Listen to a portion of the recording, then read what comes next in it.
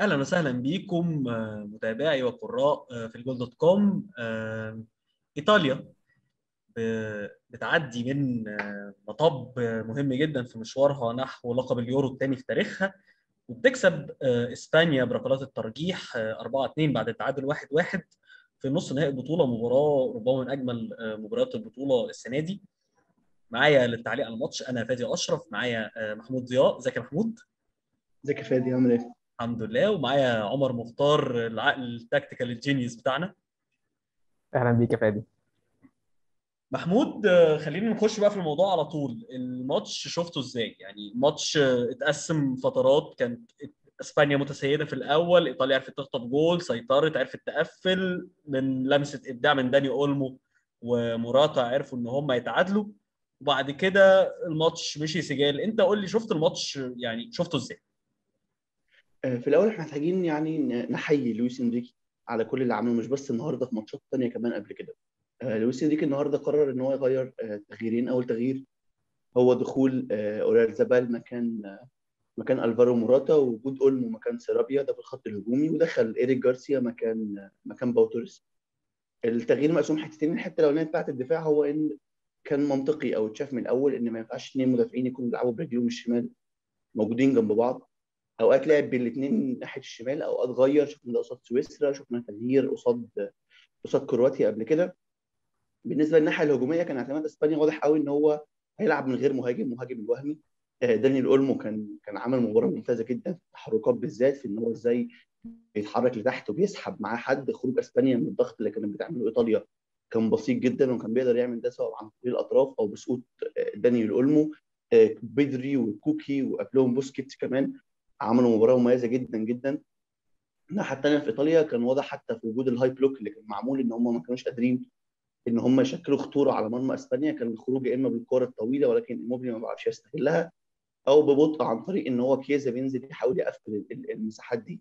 فبالنسبة لي الشوط الأول كان شوط مميز جدا جدا من إسبانيا. كان ينقصوا بس إن هم يسجلوا هدف ولكن راح مرة أويارزابال راح الثانية أويارزابال دانيال أولمو ضيع. في الشوط الثاني كان في رأيي المفروض إن الشوط الثاني يبدأ على الأقل بدخول آه، لوكاتيلي مكان مكان فيراتي. مش انقاصا من قدرات فيراتي خالص ولكن لأن آه، لوكاتيلي لعيب بيتميز أكتر بإن هو آه، يعني حرك أكتر متحرك كتير زيادته الهجومية كمان مؤثرة في المساحات اللي فاضية كان يقدر يتعب شوية خط خط وسط إسبانيا. ولكن في الآخر إيطاليا قدرت تخطف جون زي ما أنت قلت عكس سير اللعب وتسجل هدف. بعد كده تدخل إنريكي بدخول بدخول موراتا اللي سجل بعد كده جول التعادل. اجمالا بشكل عام في الماتش إسبانيا كانت الطرف الأفضل في رأيي. إيطاليا حتى لما قررت تدافع ودخل قرر مانشيني إن هو في الأول يدخل بيراردي في مكان إيموبيلي عشان يستغل نفس اللي عمله إنسيني الشوط الأولاني بوجود ال- المساحات الفاضية في ظهر قلبين الدفاع مشاكل طبعا لابورت وجارسيا موجودة كتير. ولكن بعد كده بدخول آه، خروج فيراتي ونزول بيسينا وخروج آه، إيميرسون ودخول آه، تولوي تغييرين كانوا غلط جدا وكان متوقع إن بعد دخول تولوي الخطه تقلب ثلاث مدافعين لكن ده ما حصلش. ده أثر أكتر كمان على إيطاليا وهي بتدافع. فبالتالي شفنا إيطاليا في أي وقت ممكن تخش فيها الجون الثاني حتى ما بعد هدف التعادل في الوقت الأصلي. آه، اجمالا مباراة كبيرة جدا من إنريكي في رايي إنها خروج بضربات الجزاء. دانيال اولمو نجم الماتش حتى واحد من اللي ضيعه ولعب ضربة جزاء سيئة جدا. آه، إيطاليا علامات استفهام كتيره على حاجات كتيرة. كان ممكن مانشيني يقدر يحاول يتدخل فيها عشان يحلها أو على الأقل تكون أقل صعوبة. ولكن في النهاية إيطاليا بضربات الجزاء تقدر تصعد للنهائي زي ما أنت قلت الرابع في التاريخ. طيب عمر أنا رأيي إن إحنا شفنا مباراة بين آه، أحد أفضل اثنين مدربين في اليورو السنة دي آه، مانشيني وإنريكي. هل تتفق مع محمود إن إنريكي تفوق النهارده بشكل كبير جدا؟ آه طبعا. آه زي ما أنت قلت يا فادي هي مباراة بين أفضل المدربين في اليورو لحد دلوقتي. والمباراة كانت آه قبل بدايتها كان آه مستنيينها علشان إحنا بن بنتفرج على فرقتين عكس بعض تماما. يعني إيطاليا بدأت اليورو بقوه و... واستمرت بنفس الشكل. فأنت عارف آه إمكانياتهم إيه ونقط ضعفهم ونقط قوتهم. فكانت بتواجه فريق هو بدأ البطولة بشكل سيء وتدريجيا بدأ يتحول آه، لوحش فعليا. بس ما حدش خد باله منه غير لما كسبوا كرواتيا. بنتيجة كبيرة وبعدها سويسرا حتى لو بضربات الجزاء. بس الكل أخد باله بعد كده إن التغيير اللي حصل في المنتخب. فدي أكتر حاجة ممكن تواجهك كمدير فني وأنت بتفكر إن أنا إزاي هواجه فريق كان سيء وبعدين قدر يتحول. على عكس فريق أصلا هو ماشي بشكل ثابت طوال مستوى البطولة. دي الحاجة اللي كانت آه، بتشغل تفكير أكيد مانشيني قبل المباراة. كوسيلة إن هو إزاي يقدر يكسب إسبانيا. الفكرة الأولانية في إنريكي هو بدأ البطولة أساسا بطريقة وبعدين كمل بطريقة تانية. إن هو مثلا في البداية كان آه، بيستخدم آه، الأجنحة بتاعته هي اللي تنزل آه، تفتح الخطوط وال full backs بتوعه هم اللي يعملوا ال underlapping أو إن هم يجروا كأنهم full backs أساسا على الأطراف. ودي دي كانت مشكلة أصلا عملت أو عملت لهم مشكلة في البداية لأن أنت كنت بتواجه منتخبات زي السويد سلوفاكيا وهولندا اللي الثلاثه هينزلوا يلعبوا deep block قدامك. ف وأنت أصلا المفروض عندك كوكي وبدري هما الاثنين اللي بيقدروا يلعبوا في أنصاف المساحات كويس أو يكسروا الخطوط بمعنى صح بتحركاتهم من غير كورة. فبالتالي كنا بنشوف إن منتخب أسبانيا آه صحيح بيعمل فرص لكن كل فين وفين أو على فترات متباعدة آه، مش بنفس السياق اللي حصل في المباراتين الأخيرتين اللي هو كل كل دقيقة بتشوف هجمه كل دقيقة بتشوف هجمة استمر الحال بنفس الشكل.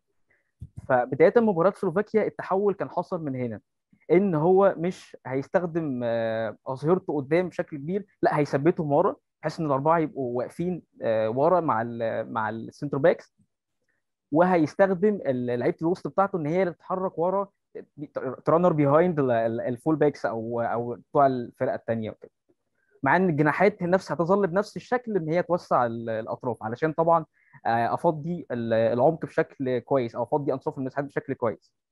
ده أثر على إسبانيا بشكل كبير وشفنا النتيجة ده بالسكور اللي جابوه. حتى لو عندهم آه، مهاجمينهم مش بيسجلوا آه، أو مش هدافين لكن كنا شفنا أكتر من حل سواء الأجنحة الأجنحة بدأت لما مثلا لو أسبانيا معاها الكوره في ناحية اليمين فبدل الأول إن الأجنحة تكون بتعانق الخطوط بس على على الجوانب لا الكورة لو في ناحية اليمين مثلا هتلاقي الجناح الشمال اللي هو كان سرابيا مثلا أو أو على حسب توريس مين هتلاقيه بيبقى inside forward جنب موراتا وقلب هو اللي بيفتح الملعب ده كان risk شوية بس طبعا أنت طول ما بت risk طول ما أنت بتاخد نتائج صحيح ممكن تبقى عكسية لكن في النهاية أنت بتدي risk يعني. فدي كانت آه، الحاجة أو التغيير اللي حصل بين بداية البطولة وبين الماتشين الأخيرين. قبل المباراة آه، أكيد إنريكي كان بيفكر إزاي ممكن يهاجم إيطاليا. فأول تفكير هيجي في دماغه إنه يلعب ورا جورجينو هو أي حد بيفكر في إيطاليا بيفكر أول حاجة إن هو يلعب ورا جورجينيو. على طول. آه طبعا. فإزاي هلعب ورا جورجينو بلجيكا حاولت تعمل كده لكنهم آه، كانوا وقعوا في خطأ إن طريقة الضغط بتاعتهم ما كانتش أحلى حاجة. كان فاصل الخط الأمامي الثلاثي الأمامي عن باقي الوسط. وده طبعا في الكورة حاليا جريمة. لأن طبعا. لازم الفريق كله يكون يتحرك ك one unit compact unit بالظبط. آه ف... فدي كان عامل لهم مشكلة. فانريكي فكر إنه أنا إزاي هلعب آه، ورا جورجينو فكان الحل بسيط جدا إن أنا مش هبدأ بموراتا كالعادة وهبدأ بداني أولمو. داني أولمو هينزل في النص يعمل لي موقف أربعة على ثلاثة دايما مع ثلاثي إيطالي. والحاجة التانية كمان اللي أثارت آه، انتباهي برضو هي فكرة إن آه، هو بدأ بجارسيا بس. أنا كنت مش شايف إن فكرة إن الاثنين full اثنين centre backs بيلعبوا بالشمال كانت مشكلة قوي على قد ما كنت شايف إن ما ينفعش يبقى توريس هو اللي يبقى ناحية الشمال. كنت بشوف لابورتي أفضل ناحية الشمال لأن هو اللي عنده آه، القدرة على إنه يجري بالكورة ويموه بجسمه كويس بحيث إن هو يخلي اللاعب اللي بيضغط عليه مش عارف هو هيمرر فين فبيسيب مساحات وراه. فكنا بنشوف دايما إن فيراتي بيطلع يضغط وإيموبيلي بيطلع يضغط كأنهم الخط الضغط الأول بتاع إيطاليا ولابورتو كان بيقدر يعمل ده. إيطاليا متعودة دايما إن هي لما بتلعب فريق بتحاول تسيطر على نص الملعب عن طريق إن هي بتعمل تكافؤ عددي. فمانشيني تفاجئ جدا إن أولمو إحنا دلوقتي قافلين كل ال passing lines عن عن بدري وعن كوكي. وفي نفس الوقت آه، باريلا بيراقب بوسكيتس بيعمله cover shadow مش عارف يتحرك فين. فكان الحل عند جارسيا ولابورت إن هم خلاص هيجدوا آه، أولمو بين الخطوط. فخلاص ومجرد إن أنت خلاص لقيت أولمو خلاص إيطاليا هتتراجع تاني وهتعمل دي بلوك هي بس الضغط أو البداية في المرحلة الأولانية لبناء اللعب وبعدين هنتجه للمرحلة الثانية في بناء اللعب. أعتقد دي كانت الأفكار بشكل مختصر يعني قبل ما نخش في تفاصيل أكتر. طيب محمود. كنا بنتفرج على الماتش سوا قلت لك إن وجهة نظري يعني إن فرقة إسبانيا دي كأس العالم اللي جاي واليورو اللي جاي بوجود آه، بعض الإضافات يعني هتبقى حاجة سوبر أنت اختلفت معايا شوية فعايزين ناخد الناس كده للنقاش ده. أنا شايف إسبانيا محتاجة اولا مهاجم يقدر يخلص الفرص. إسبانيا لو عندها مهاجم بيخلص فرص أعتقد كانت ما كانتش عانت في ماتشات كتيره على رأسها ماتشين المجموعة حتى قصاد قصاد السويد وقصاد آه، بولندا بعد كده. كانت تقدر تخلص ماتشات أسرع. الحاجة الثانية والأهم هي قلبين الدفاع. حتى في إذا كان إذا كان لابورت لعيب كورة كويس أو إذا كان جارسيا عنده شوية كورة بيلعبهم. لكن في النهاية الثنائيات واضح إن في مشكلة واضحة جدا. يعني وجود إيريك جارسيا وجود باو توريس الفريق محتاج مدافع أقوى من كده. الحاجة الثالثه هي ناحية الباك اليمين يعني الباكين. إضافة الباكين على ده. الباك اليمين عندك أزبليكويتا سنه كبير. بيلعب بيورنتي في مركز مش مركزه. هو بيأدي فيه أوقات مع أسبانيا وده حصل مش أول مرة يلعبها. ولكنه في الطبيعي يكون محتاج باك يمين بخصائص باك يمين أكتر عشان يقدر يستغل يورنتي بالشكل اللي شفناه مع أتلتيكو مدريد الموسم اللي فات. طبعا الباك الشمال جوردي ألبا هو برضه في سن كبير. وبالتالي الفريق مش بعيد خالص على إن هو يكون عنده قدرة ينافس سواء في كأس العالم اللي جاي أو حتى في اليورو اللي جاي بعد كده. ولكن في شوية إضافات أنا الجزء الأهم بالنسبة لي إن إنريكي محتاج يستحق تقدير أكتر من اللي هو بياخده أو يحط في مكانة أعلى شوية من اللي هو محطوط فيها لأن هو بيطبق أفكار مش شرط الافكار كلها تكون أنت متفق معاها ولكنه بيطبق أفكار يقدر يوصل فريقه للجون بأكتر من شكل مختلف بيعرف يتعامل مع ظروف الماتش مهما كانت هي إيه. عنده شوية لعيبة صغيرة آه، لعيبة زي دانيال أولمو وفيران توريس آه، آه، حتى بدري الغايب للإصابة كمان إنسو فاتي. ولاعيبه ثانية كتير تقدر تكون موجودة. جيل يقود أسبانيا لقدام ولكن في شوية حاجات محتاجة تتعدل. طبعا في في المنتخبات بيبقى الموضوع غير غير الأندية سواء في الفترات اللي أنت بتقعد فيها أو حتى في اللعيبة المتاحة بالنسبة لك. ولكن تعديل في خط الدفاع بشكل عام وتغيير التعديل في قلب الهجوم أعتقد هيخلوا هيخلوا أسبانيا مهمة جدا. حاجة ثانية أخيرة كمان يمكن ما اختبرناش قوي في البطولة دي ولكن في غياب بوسكيتس رودري ما بيقدرش يقوم نفس الدور اللي بيعمله بوسكيتس حتى وإن كان قصاد فرق أقل في القوة شوية. بوسكيتس مع كبر سنه بيعمل دور ما حدش أو على الأقل رودري ما بيقدرش يعمل نفس الدور ده. نشوف إيه اللي جاي في المستقبل لكن على الأقل في أسبانيا عندها فريق مجموعة من الأجنحة ولاعيبة وسط ملعب جايين يقدروا يقودوا الفريق لقدام مع إنريكي اللي هو مدرب مش قليل خالص.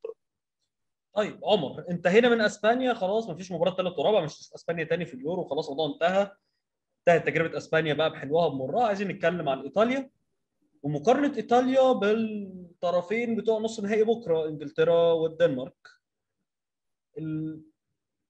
أنت شايف إيطاليا هل هي المرشح اللي هتدخل النهائي المرشح الأقوى حتى لو قلبت إنجلترا ولا المرشح الأقل حتى برضه لو لعبت إنجلترا أو الدنمارك؟ آه سؤال حلو لأن الفكرة إن الأربعة المنتخبات اللي وصلوا لنص النهائي هم عندهم أفضل أربع مدربين في البطولة.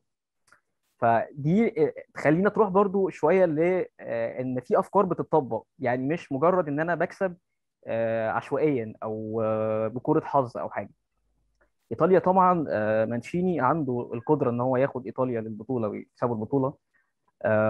رغم إني بشوف إن شولمان مدرب الدنمارك هو لو حطينا لو حطينا مانشيني بجانب ساوث جيت وشولمان فأنا بشوف إن شولمان هو أكتر مدير فني عنده أفكار رغم إنه لعيبته مش أفضل جودة من إيطاليا وإنجلترا. بس طبعا كأسماء آه، حاليا إنجلترا هي المرشح الأوفر حظا. لكن طبعا مانشين ممكن يقدر يكسب البطولة مع إيطاليا يعني. إيه اللي يرجح كفة لو افترضنا إن آه، خليه يعني محمود يبتدي في النقطة دي لو افترضنا إن إن إنجلترا كسبت؟ إيه اللي يرجح كفة إيطاليا على إنجلترا؟ وبعد كده هسأل عمر إيه اللي يرجح كفة إنجلترا على إيطاليا؟ آه، بص يا فادي في رأيي يعني هو إيطاليا تقدر تكسب البطولة زي ما إحنا اتكلمنا في كل ده بس في رأيي مواجهة ما بين إيطاليا وما بين إنجلترا لو لو اتلعب على ال basics ففرصه فرصة إنجلترا أعلى بكتير. ليه؟ لأن إنجلترا عندها عندها منظومة دفاع قوية جدا.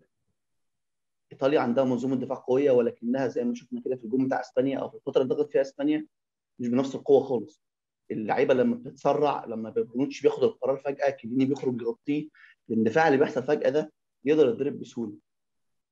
فدي نقطة مهمة جدا. الخبرة اللي ممكن نقطة أو اللي ممكن تخلي كفة إيطاليا أعلى شوية من إنجلترا هي إن هي ممكن ممكن يكون في شوية خبرة زيادة في لعيبة آه، إيطاليا عن لعيبة إنجلترا.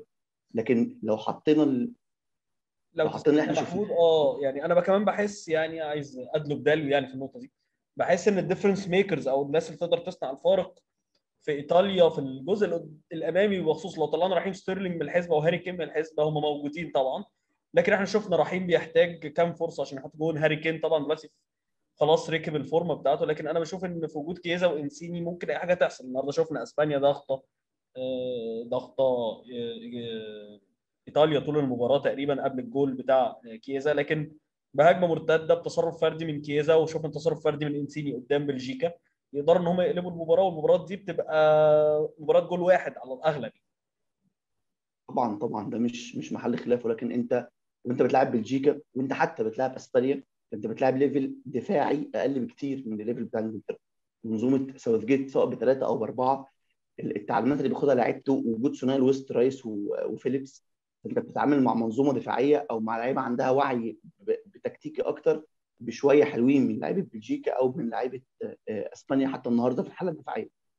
فإيطاليا وهي بتلعب الناس دي بتلعب خصم أقوى. آه، آه، مانشيني لما اتحط قدام اختبار النمسا مثلا قدام اختبار إسبانيا النهارده شفت لا في حاجات في نقط ضعف موجودة. في حاجات أنت محتاج أو أنت وأنت شايف قاعد شايف إن مثلا في حاجة لازم تحصل في شيء لازم يتغير. أنت محتاج لعيب متحرك في نص الملعب. محتاج تخرج مثلا ايموبيلي لأنه مش موجود وتنزل مكانه حد تاني. فالحاجات دي وأنت بتلعب إنجلترا ساوثجيت حتى لو هو كان الناس بتشوفه تكتيكيا في level أقل شوية ولكنه في النهاية عنده في إيده أدوات كتير يقدر يغير بيها النتيجة وأنا مش متفق عموما مع قصة إن هو قليل جدا لأن لما اتحط اختبار زي اختبار ألمانيا هو قدر يتصرف مع ألمانيا. حتى لو هي مش ألمانيا اللي إحنا عارفينها ولكنه قدر شاف حط قدامه سيناريو البرتغال 4 2 بتاع ألمانيا. وعرف إزاي يتفاداه ويخرج بالماتش زي ما هو عايز. الفريق لما آه، هاري كين جاب جاب فورمته عنده جريليش عنده فودن عنده ماونت عنده سانشو عنده لعيبة كتير جدا تقدر تصنع فرق. الحتة اللي قدام. وبوكايو ساكا طبعا آه. ساكا طبعا قدام مع مع المنظومة الدفاعية القوية.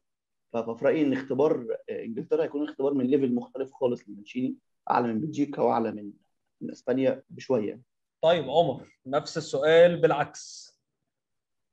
مين كفته أرجح؟ لو توقعنا إن إن إنجلترا هي الأقرب it's coming home ولا إيه؟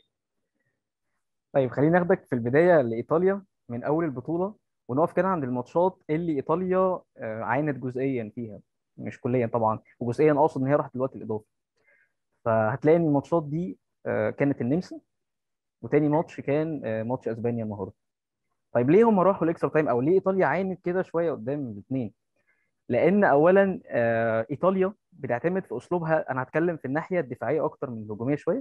في الناحيه الدفاعية إيطاليا بتعتمد إن هي توجه خصومها ناحية الأطراف دايما. هي هي بت... يعني مانشيني دي نقطة قوته لأن عنده كيزا وعنده إنسيني الاثنين يعتبروا إلى حد ما يقفلوا ال passing lane كويس بعد ما الكرة تروح لل... لل full backs. وبعد كده عنده آه، نص ملعب سواء آه، باريلا أو فيراتي. يقدروا جدا تكتيكيا إن هم برضو يقفلوا عن اللعيبة بتوع نص الملعب اللي جايين يقربوا حتى مع طبعا ال- ال- ال full backs أو ال wing backs بتوع إيطاليا يعني. فالفكرة إن النمسا واسبانيا الاثنين بيعتمدوا على ال half space أكتر من الأطراف فمثلا أسبانيا النهارده ما كانتش بتودي الكوره ناحية ال full backs بتوعها لأن هي عارفة إن أنا لو رحت هناك في إيطاليا هتاخد الكورة وهتعمل عليا تحولات أنا في غنى عنها فلا أنا كنت بستخدم ال half space أكتر عشان أوصل للمركز مش العكس. وبعدين لما أخرج من الكورة من ورا وأوصل للمرحلة الثانية من اللعب أو الثلث الثاني من الملعب هبدأ أستخدم ال full backs بتوعي. لأن خلاص كده هكون طلعت من الكماشة بتاعت إيطاليا. إيطاليا اتفاجئت بفريق هي مش متعودة على الأسلوب ده أو مش متعودة إن حد يوجهها بدل ما هي توجهه للطرف لا أنا هوجهك أنا للمركز بتاعي كده. وكذلك حصل آه، في مباراة النمسا برضه. فانجلترا دلوقتي عندها ساوث جيت صحيح مش مش قوي تكتيكيا للدرجة لكنه ذكي وبيعرف هو عايز ياخد إيه من المباراة كويس. يعني آه، قدام ألمانيا هو غير التشكيل رجع ل 3 4 3 تاني وبعدين ممكن عادي قدام الدنمارك يرجع للأربعة ورا عادي على حسب هو آه، هيستفيد إيه من التشكيلة بتاعته. فانجلترا أنا بشوف إن هي تقدر آه، تعدي إيطاليا آه، نظرا لأن ساوث جيت هيقدر يعرف هي إيطاليا عايزة إيه بالظبط ممكن تعمل أو يعمل simulation للي حصل قدام إسبانيا أو أو النمسا. فده اللي يخلينا آه، ما نقدرش نحدد قوي يعني ما نقدرش نقول إن إيطاليا هتكسب أو إنجلترا هتكسب لا الاثنين هيبقوا ند للند يعني. طيب الكلمات الأخيرة من وقت يسرحنا. محمود آه، مباراة دنمارك إنجلترا. شايف الدنيا ماشية إزاي؟ أنت عندك رأي أنت عندك رأي إن الدنمارك هتكسب. أنا فضحتك بقى خلاص. انت شايف إن الدنمارك هتكسب؟ مش مش شايف. أنا بصراحه أتمنى مكسب الدنمارك لكن كتوقع في الملعب التوقع الطبيعي بيقول إنجلترا. لكن أنا أتمنى مكسب الدنمارك. مش مش يعني بعيدا عن التعاطف معاه قصة اريكسن ولكن أنا الدنمارك كنت شفتها كتير قبل قبل بطولة النهائي وأوكرانيا وتركيا. أكتر ثلاث فرق كنت اتفرجت عليهم بعيد عن الفرق الكبيره فكنت مستني من الدنمارك وتركيا بالذات إن هم يقدموا بطولة كويسة. الدنمارك بعد ما فقدت صانع ألعابها آه، كريستيان إريكسون بعيد عن سبب الفقدان ولكنها فقدته جوه الملعب. مدرب قدر يتغلب على على مشاكل كتير قابلته قدر إن هو يعمل ماتش كويس حتى على بلجيكا لما لما اتغلب. ماتش كويس بعد كده على روسيا وبعد كده في الإقصائيات. فالفرقه فرقة طامحة يعني. هم فريق مش ما فيهوش قدرات. طبعا نص قدرات لعيبة إنجلترا مش موجودة في الدنمارك ولكنهم يقدروا يعملوا حاجة أو يعملوا ماتش كويس على الأقل. التوقع الطبيعي طبعا بيقول إنجلترا ولكن التمني فقط. التمني أنا بتمنى أشوف الدنمارك. طيب عمر هل ممكن بكرة نشوف آه، سيناريو من فصول انجلترا الباردة المعروفة عنها في البطولات الإقصائية بقى وريما وترجع لعادتها القديمة ولا تستبعد القصة دي؟ هو مع انجلترا انت انت جاوبت السؤال. يعني هي فعلا حاجة مش مضمونة لأن هو ممكن الفريق يبقى قوي جدا حتى في الملعب. يعني ممكن يكون الفريق منظم جدا بس بكوره واحدة سواء ليهم أو عليهم. يعني ممكن كوره واحدة لهاري كين اللي هو مثلا هداف ال- الفريق الماتش اللي فات وواحد نجوم ال- الفريق. بيضيع عادي أو ستيرلينج ما ي- ما يبقاش بنفس الطاقة اللي هو بيها طوال البطولة في لحظة ما ممكن يحصل. والعكس كمان إن ماجواير وستونز ما يكونش مركزين آه، أو حتى ديكلان رايس و... و... وفيليبس في النص آه ما, ي... ما يبقوش واعيين تماما باللي بيتحرك وراهم خاصة إن أنت بتواجه فريق آه، عنده وحوش في أنصاف المساحات حرفيا يعني. يعني دامسجارد و- وبرايثويت فعلا صح. بيتحركوا يمين وشمال آه. ومع ال wing backs كمان أنت. ما بتبقاش عارف قوي يعني لازم تكون ارتكاز كويس جدا عشان تعرف آه، تتفادى ال- ال lanes اللي وراهم والحارات اللي وراهم دي كده فما استبعدش إن الدنمارك تتاهل بس أعتقد إنه هيبقى صعب آه، نظرا للجودة العالية بتاعت إنجلترا دي يعني هيبقى صعب جدا بصراحة لعيب مبهر دامسجارد آه جدا آه، كمان عايز عايز اخدك لحاجة تاني كمان في, في إيطاليا قبل عشان قبل مباراة النهائي. أوكي. آه، فاللي حصل النهارده مثلا إن مانشيني آه، في الحالة الدفاعية إيطاليا طوال البطولة كانت مبهرة جدا. كانت فعلا بتقدم أساليب دفاعية تتعلم لل- للناشئين حتى من كيليني وبونوتشي أو حتى جورجينو في التمركز. لكن النهارده إنريكي إزاي كان قادر يتعامل مع إيطاليا حتى في ال deep block كويس يعني؟ فشفنا إن تغيير آه، نزول رودري مع مع وجود بوسكيتس يعني أي حد كان هيشوف إن رودري نازل فهتقول بوسكيتس اللي هيطلع بال- آه بالمنطق يعني. لكن هو طلع كوكي. لكن هو كان عنده فكرة. إيه الفكرة؟ إن أنا عايز آه، أوصل الكورة آه، لنص المساحة والمركز بأي طريقة. فكوكي مش هيوصل لي ده. كوكي ممكن ي track back ممكن ي overlap ي underlap أفضل. أو إن هو يبقى ball winner بتاخد بيه الكورة. لكن مش هو. اللي آه مش هو اللي ي facilitate للفريق أو يسهل لك عملية ان انت توصل لل- للتلت الاخير بسهولة. فرغم ان بوسكيتس كان عنده انذار ودي مجازفة لكن هو خد ال risk آه، من من اول المباراه حتى واخد ال risk بال- بال- بال- بالضغط العالي وال- وال high line بتاعه حتى انه اتضرب في كرات قليلة. بس بوسكيتس كان فعال جدا في الحتة دي انه حرر بدري جدا بين الخطوط. فكنا بنشوف إن أولمو وبدري حرين إن هم يوصلوا جول جول التعادل. هو مثال على ده تماما يعني. إن بوسكيتس بال- بالتحرك بتاعه من غير كورة كان بيسحب ال mark بتاعه بيفضي المساحة لأولمو وكذلك بدري بي بي بي drag ال- ال- ال- اللعيب الوسط بتاعه اللي هو كان باريلا أو أو أو مين؟ أو جورجينو للأطراف فبيفضل اولمو فانا اقصد إن إيطاليا آه على مدار البطولة كانت كويسة بس أسبانيا كشفتها النهارده بسهولة. فدي حاجة ممكن برضو تخلي آه مدربين زي شولمان وزي آه ساوثجيت إن هم ياخدوا بالهم من الحتة دي. طيب أنا انبسطت جدا بالنقاش معاكم نقاش كروي آه، دسم بصراحة. يعني محمود دايما ببسط الكلام معاك. شكرا جزيلا. شكرا فادي حبيبي واهلا بيك يا عمر. شرفنا بيك. وعمر. عمر برضو الكلام معاك دايما تكتيكيا دسم وممتع جدا. متشكر جدا يا عمر لوقتك. شكرا يا فادي وأتمنى تكون حلقة خفيفة على على الجمهور وشكرا يا محمود. مبسوط ان أنا كنت معاك. عمر.